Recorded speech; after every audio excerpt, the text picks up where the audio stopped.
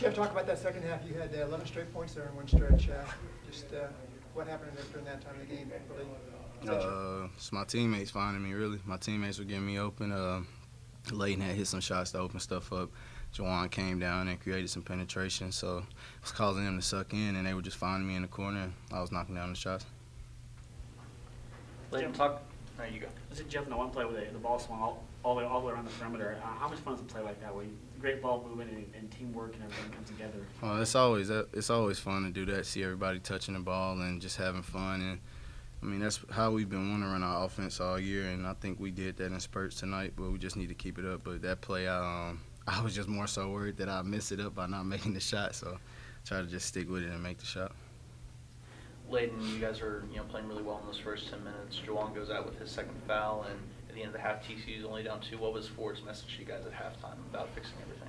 I mean, just we got to just take care of the ball more. I mean, when um, Jawun went out, and I mean, even when Jawun was in the game, we were turning over the ball too much, and we're also fouling a little bit too much. So just the message was just don't foul, just play solid defense, and don't turn over the ball because we're just we're beating ourselves. So I mean, just solid defense, solid offense, and just control the game, and we'll be successful. Leyton, how about you? You had, uh, before Jeff had his big 11-point uh, spurt, you had seven straight points there. So between the two of you, you really kind of helped to break the game open. I mean, like Jeff said, guys were just finding me. I mean, my teammates were making shots themselves, and I mean, when everybody's making shots, everybody's on cue. I feel like this the sea opens up and everybody gets open shots. So, I mean, playing with my team, it's just it's like one big family. And so when one one player does good, I feel like we all do good. It's like we're one unit. So hopefully we can keep this up.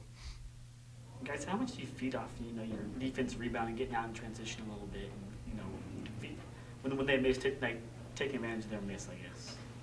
How much do you guys feed off of that? Um, I think we feed off of it a lot. I know the play when um, Leyton rebounded and kicked it up to Jeff Carroll, and Jeff Carroll hit that three. Uh, it's always fun to play that way. Um, we were playing that way early on, and we started making a, you know a few mistakes and turning the ball over. But it's always fun to play that way, and we feed off of that a lot because we feel like we're getting to go up and down, and we're also getting stops on the other end, being able to push the ball.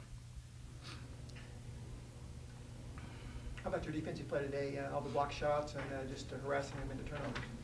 I mean, honestly, we work on that in practice every day. I mean, that's Coach Ford's method. I mean, deflections, steals, block shots, like that's what he wants us to do, be active on defense because defense can create offense. I mean, like coaches put in our heads, we're not the team that's just going to be out there outflashing people. We're going to outgrind people. So on the defensive end, that's where it starts. I feel like we did that today.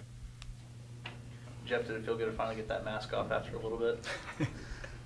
Yeah, it felt really good. Um, I remember coming into practice, I was so excited to practice and hyped up, and everybody was asking me why I was so hyped up. But I didn't think that they realized it was my first day with the mask off completely. So it just felt good. Uh, felt really good. For some reason, I felt like I didn't have have something holding me down or something like that. I didn't know what the feeling was, but it felt good not to have it on. You guys, a tough couple of road games ahead, how's it feel to be one and zero in conference right now? Though.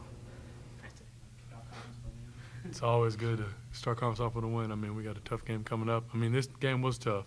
That was a really good TCU team, and they play good. I just felt like we just we played a little bit better than them. But like I said, it's going to be a tough game coming up, and we take it one game at a time in the 12. You know how it goes.